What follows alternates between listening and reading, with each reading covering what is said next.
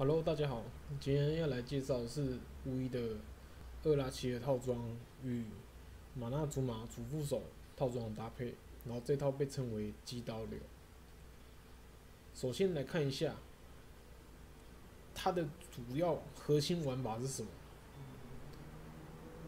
这个六件套装它有对妖术法术的增伤八百帕，也就是九倍伤害，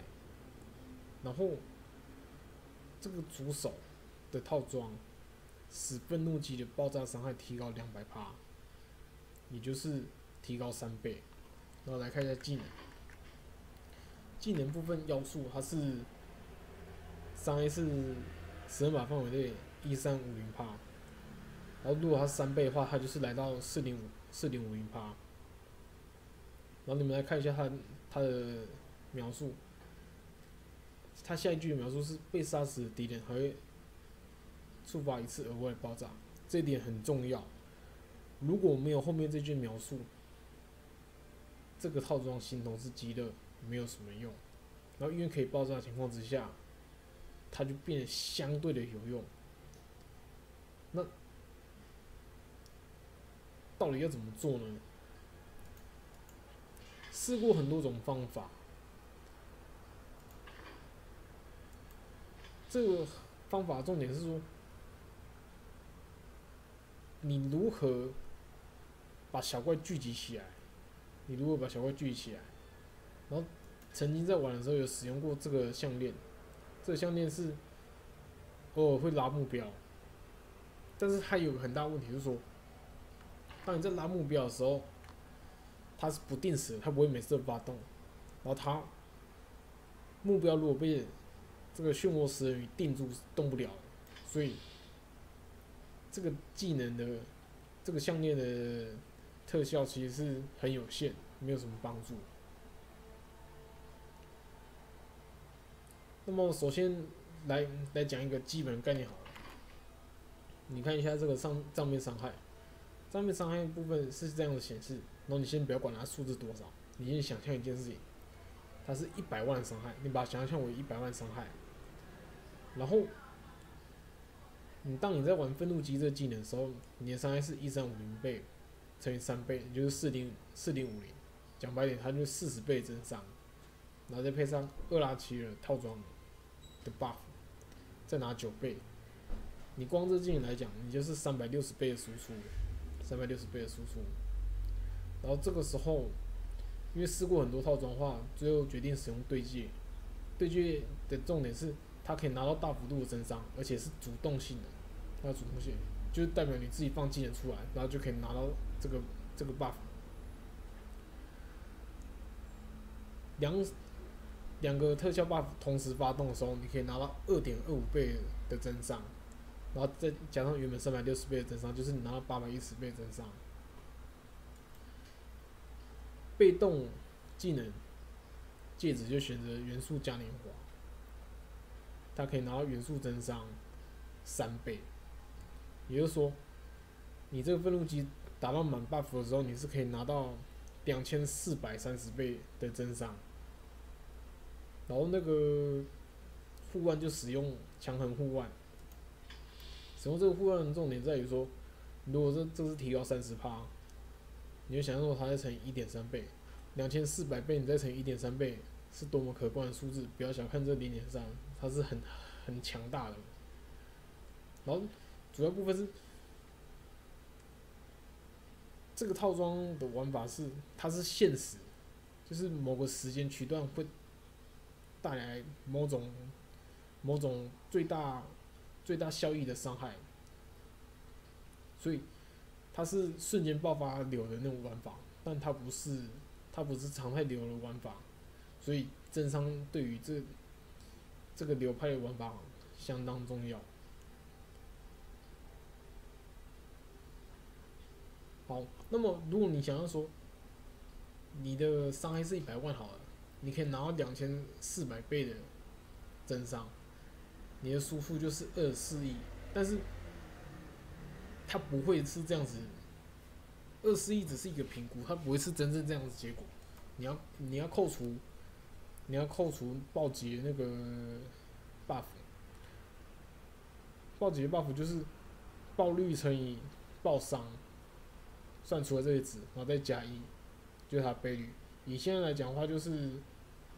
这边是一点八倍嘛，那加一就是二点八倍，所以这个账面伤害你要除以二点八倍，反正它就快接近三就对了，你要除以三才是它的击伤，然后你要以这个击伤，你要以这个击伤去去乘以刚刚那个倍率，才真正实际输出，然后你你有爆炸。你才会拿到额外伤害。为什么要这样子看呢？因为你你现在如果你不把暴击几率，你不你不把这几率性东西剥离掉，你是得不出真正正确伤害。然后这些伤害对于这个击刀的使用非常重要。该怎么说呢？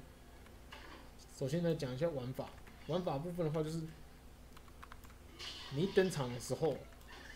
你登场的时候，你。进到一个新的关卡，你先放一次那个对空放一次巨灵，你先拿到这个巨灵的那个提高那个防御力，然后你有八秒时间可以走，你先变机，那就开始走，然后你就一直往前走，走到某个范围之后，假设你从某一点切进来，然后你在这个空间，你在玩这流派的时候，你要有一个空间的概念感，你发现这个空间当中够大，然后怪数量够多，然后你就。去想象一下，说这群怪当中的中心点在哪里？然后现在假定说，中间这个传送阵是这群怪的中心点。你在从某个位置切进来的时候，就从从某某个方位走到这个区块的时候，你先在靠近中间部分放那个石灯鱼，先聚集中间怪，然后变机去绕一下，然后直接从从它旁边经过，然后尽量不要贴死。尽量不要贴死，然后透过透过那个召唤虫群的部分来缓速，来缓速怪。主要部分它是怎么缓速的？它就是利用那个被动虫杖、虫妖，用虫杖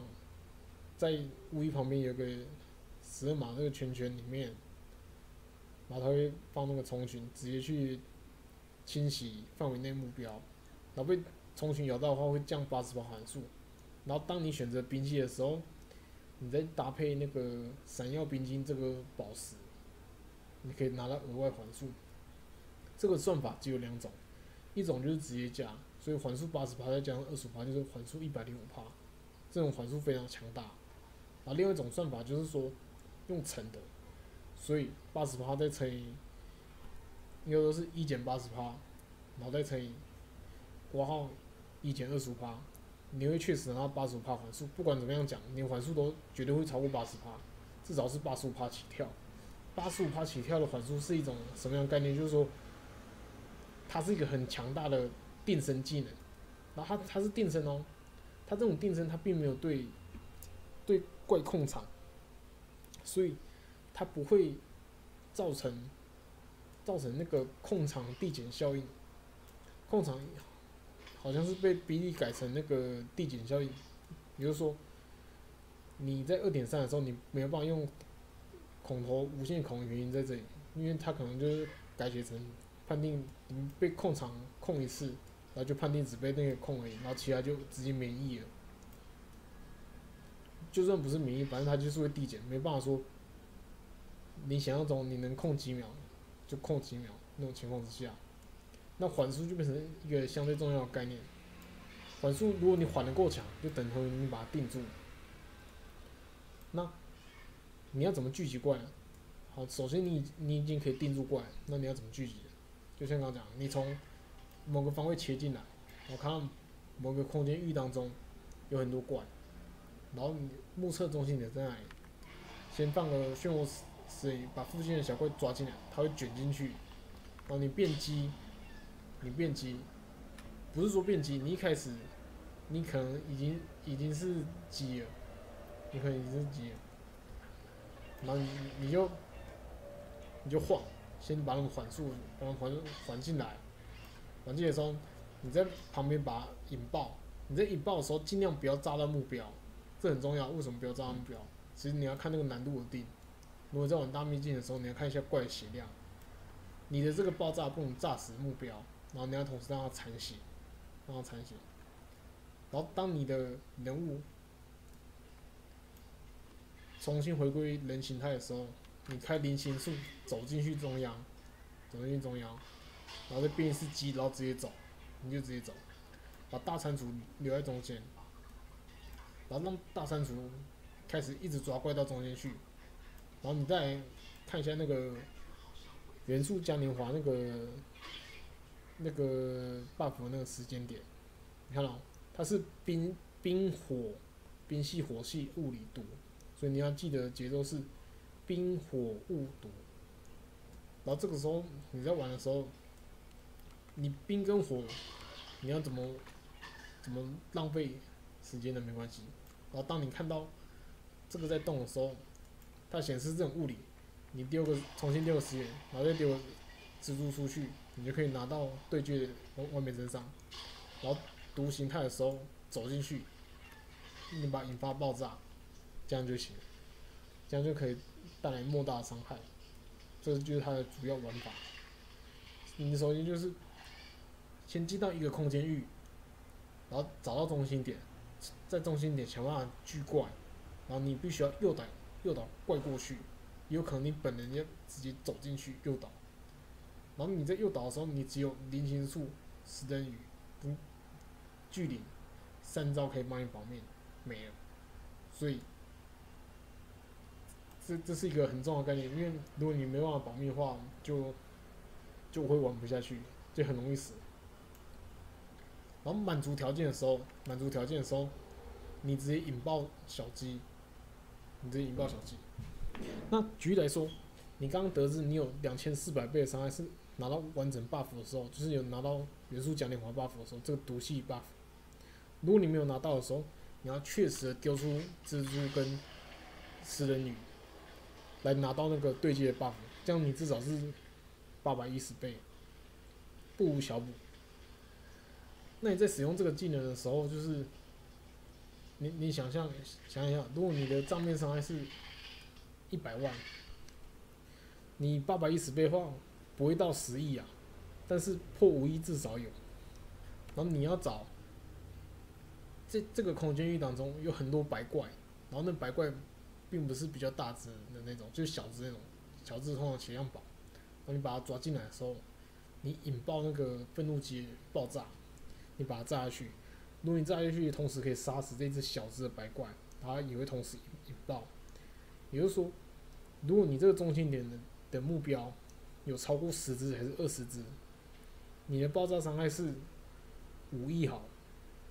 不要说五亿，十亿比较好算。你爆炸伤害算十亿，你十只就一百亿，一百亿，二十只就是两百亿。当数量越多的时候，伤害越强。那击刀流主要部分就是靠这种方法来击杀精英。蓝色精英比黄色精英血量还要少。如果黄色精英情况之下，最好这整个场面都要一堆怪，就要至少超过五十只以上，你才能在短短的二三十秒之内把。黄色精英直接杀掉，如果杀不掉就直接走。反正大致上是这样，玩一次就知道。啊，就玩一下四十五层好了，因为这流派哦很难玩，很吃技巧，它不简单啊，但是它很有趣，它很有趣。玩一次让你看一下。这什么？这个很需要有节奏，你要一定要注意这个元素嘉年华这个时间点，冰火雾毒，你要注意这个节奏。那么玩一场就知道，出发。开场一进来，先孔一下，拿针法，然后直接走，直接走。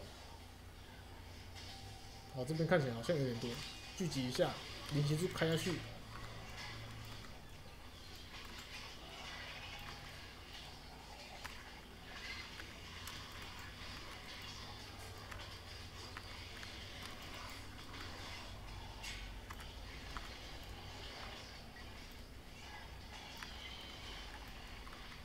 直接走，再再去寻找更多怪。哦，这边看起来可以，砸下去。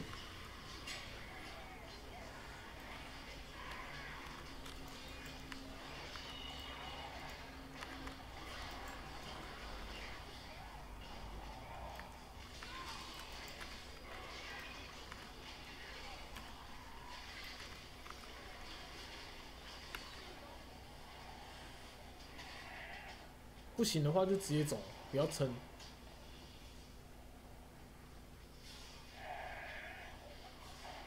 这地图有点小，最好是想办法可以找到大群怪。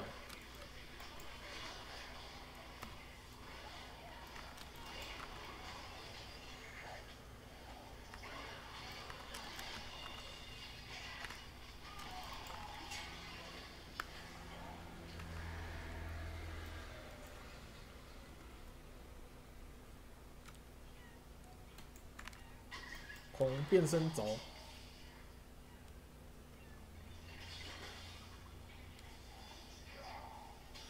哦，这里有小怪，好，这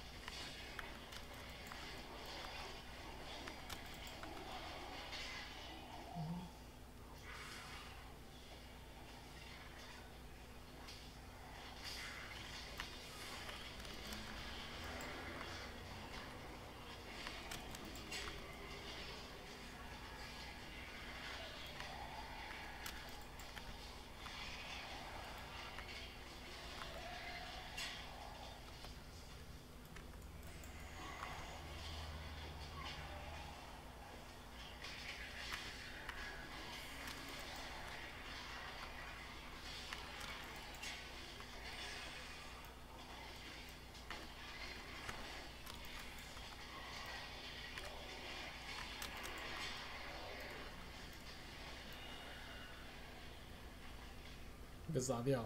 巫医其实是很脆的，节奏没抓好就会死。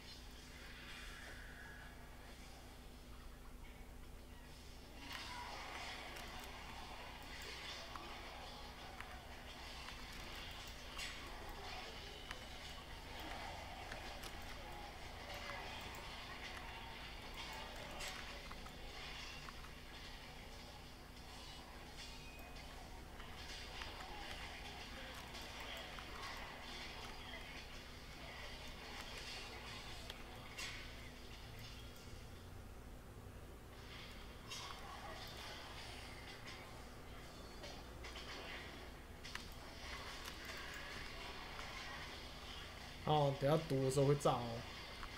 炸下去全死。应该说范围内也会死啊，就在范围不高，所以这个是有点抓节奏，然后你要稍微看一下。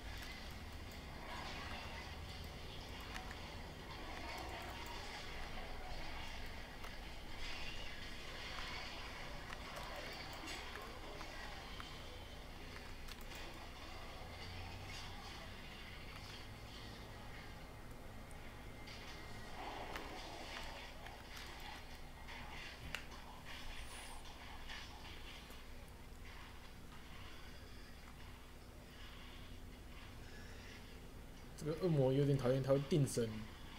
如果那个监控场不够的话，就会死。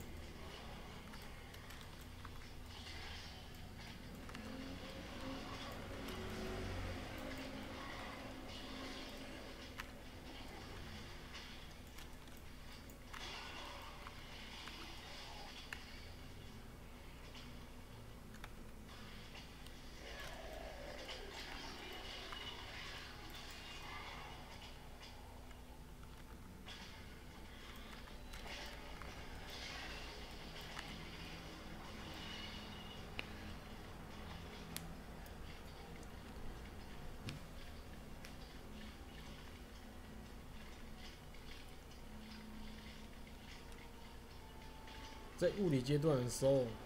拿到对接 buff，毒阶段的时候引爆引爆愤怒机，可以达到比较大的伤害。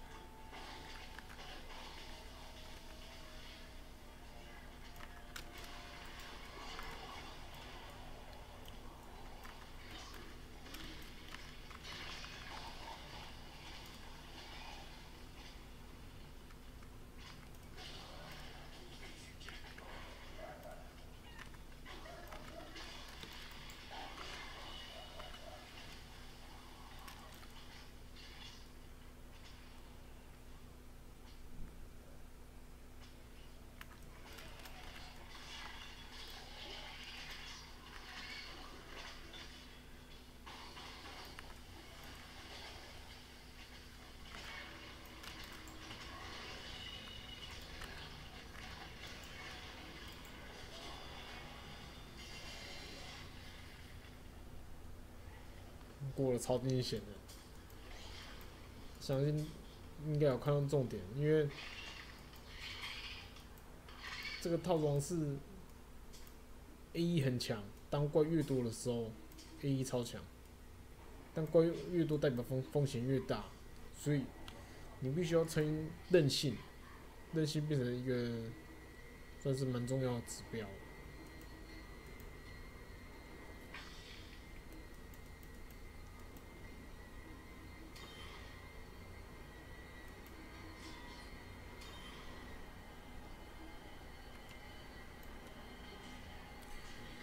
刚如果在玩的情况下，你有看到，你一定能理解一件事情，就是说，因为怪很多，怪真的很多，那怪越多的话，造成的瞬时伤害就越强，所以你要让怪很多的情况下，你的保命就要强。为什么说保命要强？你你必须要使用离形术，然后选择三秒。的这个技能，你多活一秒是一秒，然后配装的取向就是你要降冷却，这个套装要是没有降冷却是不行的。如果说你能拿到两千四百倍的伤害，那你你你这个冷却部分的话，你把冷却降到是，它账面是减五七点八一帕。然后算算出来是这个值，降冷却大概是降七十三趴，七十三趴算是一个不小补啊，尽量把它撑到七十五趴比较好，所以这个差一趴的啊，差一趴最好是把它补足。项链也要降，宝石的话就塞塞红宝加护甲。不然无疑真的是太脆了，无疑真的太脆了。抗性的部分的话，不用特地去称。三颗三颗镶嵌宝石，你要选那个，要选勾玉，勾玉这个降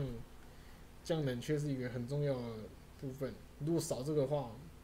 少这个话，那个愤怒机的那个 CD 会。压到四点五秒，四点五秒。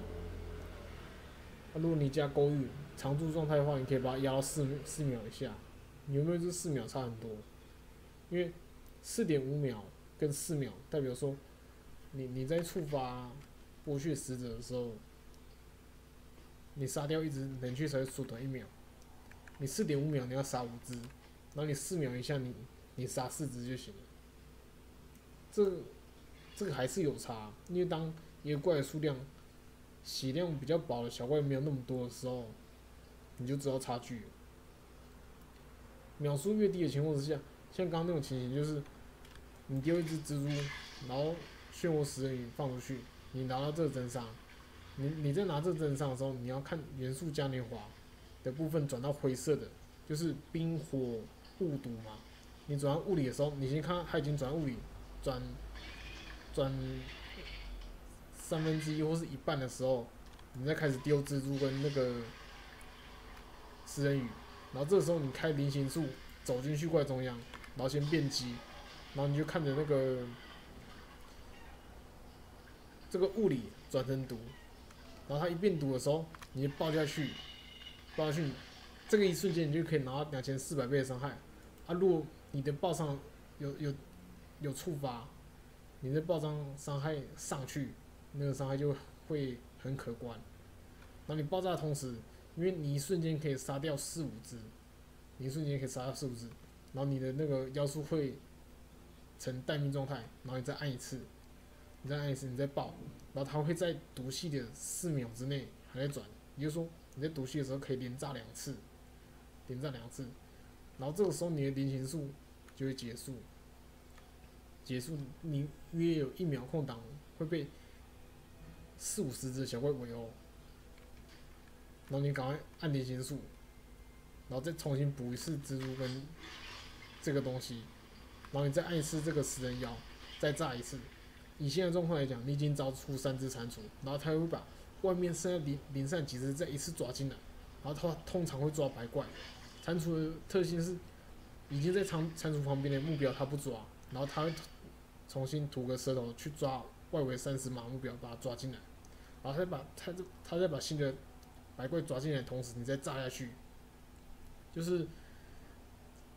中心点还没炸完的部分炸成残血，然后你只要能制造连环爆清醒，中间站着一只精英，连环爆特效就可以让一次喷掉几百亿的血量，这个就是。那个击刀流的玩法，或许有比这个还要还要好的玩法，但是不知道。然后它有几个特性，这个玩法要几个特性才打得起来。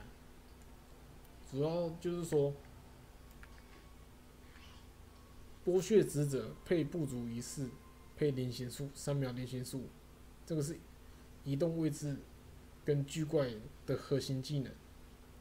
然后定物鬼体是因为你在一群怪物中将，他他被兵器环住，不代表他是被定，他是被定住，不代表是他是被晕住的，他是会攻击你的，所以两条命是相对重要的。死亡蔓延配闪耀冰晶宝石，然后配那个。重杖跟重腰，来达成那个缓速的条件，就是定时的条件。因为你你把它拉到中间，对不对？你把它拉拉到中间引爆，但是你的技能已经不行了，你变机，你还是要出去。你出去的情况之下，如果这小怪不能聚集在一起，你不能把它聚集起来定住的情况之下，会飞的或是移动速度快的小怪就跟出去，然后那小怪一瞬间就散掉。散掉的时候，你你这个击刀就废了，所以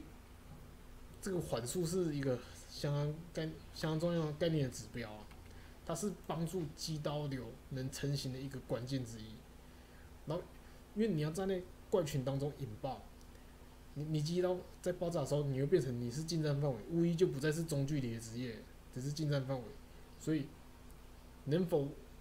放出无限菱形术？来讲是一个很重要的概念，要符合这几个条件，然后最后就是击刀那个增伤，你击刀要能大幅度增伤，你就是用对接配滑界，你拿两千四百倍的增伤。然后因为刚刚讲，如果你你你你炸第一次，你炸第一次的时候，你你先没有引爆嘛，那你你聚集起来的时候就是蜘蛛、食人鱼。然后炸下去，然后炸下去的时候，炸死几只，然后这个愤怒机洗涤好，在那个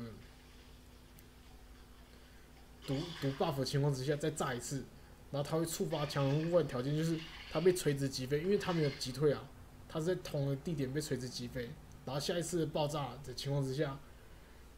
因为强人物的关系，你会你会超过两千五百倍增伤，如果你这个账面数字够漂亮。你一瞬间你一瞬间哦，包含触发这个爆伤，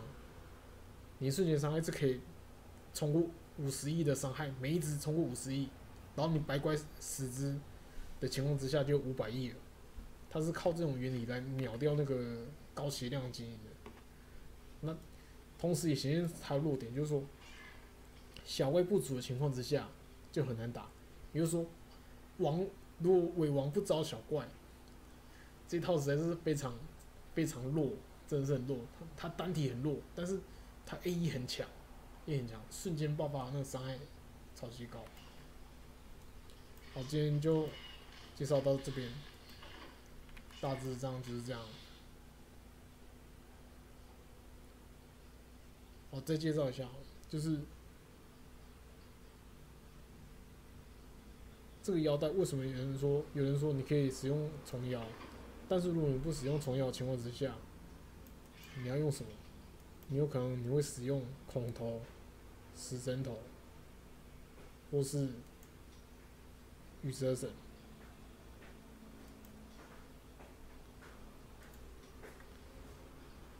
再不然就是使用那个杰莱姆面具，杰莱姆面具会对蜘蛛增伤，但是他有没有对愤怒机增伤就不知道，愤怒机不知道是不是宠物。那再不然，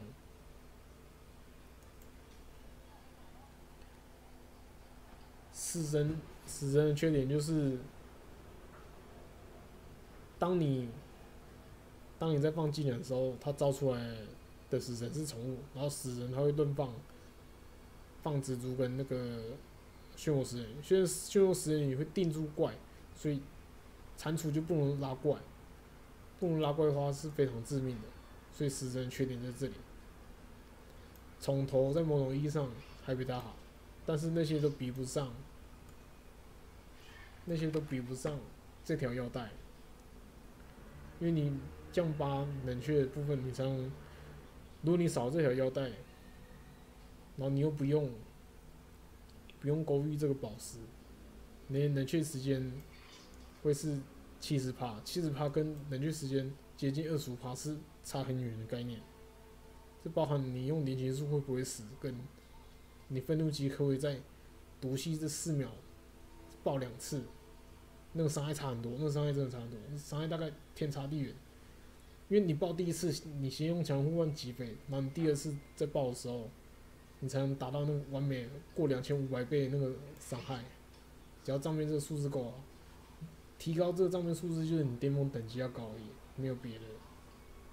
然后配装取向就是主要部位都一定要那个降冷却，然后其他部分的话就是你优先提升击伤为重点。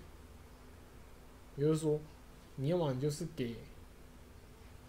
什么加八十到一百五五十五点的这个伤害，这就是击伤；要不然就提升提升爆伤。你只要触发成功，那个带来那个倍率是很可怕的。然后数量够多，炸就一瞬间就全部秒光了。好，今天就到此为止，谢谢各位。